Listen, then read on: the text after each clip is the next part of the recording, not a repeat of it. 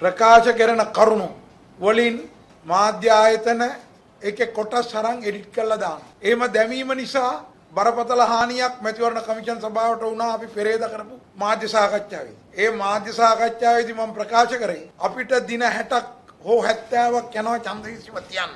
අපට දින 60ක් හෝ 70ක් යනවා ඡන්ද විසීම තියන්න.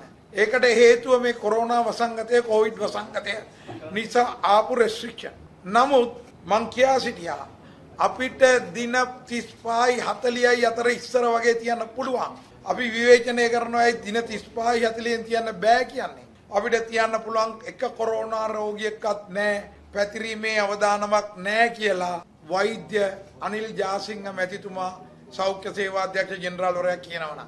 නමුත් ඒක ප්‍රචාරය කරේ ඡන්ද විමසීම තැබීමට මැතිවරණ කොමිෂන් සභාවේ සභාපතිවරයා එකම රෝගියෙක්වත් නැති වෙනකම් බලා සිටින බව. එය දේශපාලනඥයෙක් විසින් දිගින් දිගටම ප්‍රකාශ කරා.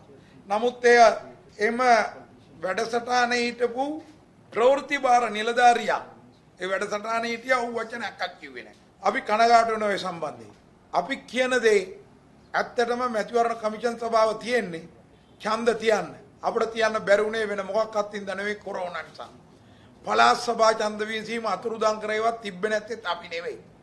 ඒක තිබ්බේ නැත්තේ පාර්ලිමේන්තුව 50 සම්මත කරලා පාර්ලිමේන්තුවට ආවට පස්සේ යෝජනාවක්වත් නොදා නොකර ඉඳලා. සියලු දෙනාම වක් කියන්න ඕනේ පාර්ලිමේන්තුව නියෝජනය කරපු අය. අපි නෙවෙයි. පළාත් පාලන ආයතන පරක්කු කිරීමත් අපි කතා කරේ නැත්තම් අපි ඒ 93වත් ගැසට් කරේ නැත්තම් අදත් නඩුව යනවා. තවමත් එහෙනම් ඡන්ද විමසීම නැහැ. අපි පුළුවන් අපේ උපරිම උත්සාහය කරලා දිනවා. උපරිම උත්සාහය කරනවා.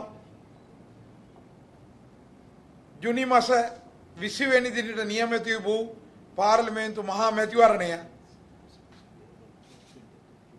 2020 අගෝස්තු මාස 5 වෙනි දින පැවැත්වෙන බව මැතිවරණ කමිෂන් සභාවේ සභාපති මහින්ද දේශප්‍රිය සමාජික ජනාධිපති නීතිඥ නලින් අබේසේකර සමාජික මහාචාර්ය රත්නීය හූල් යන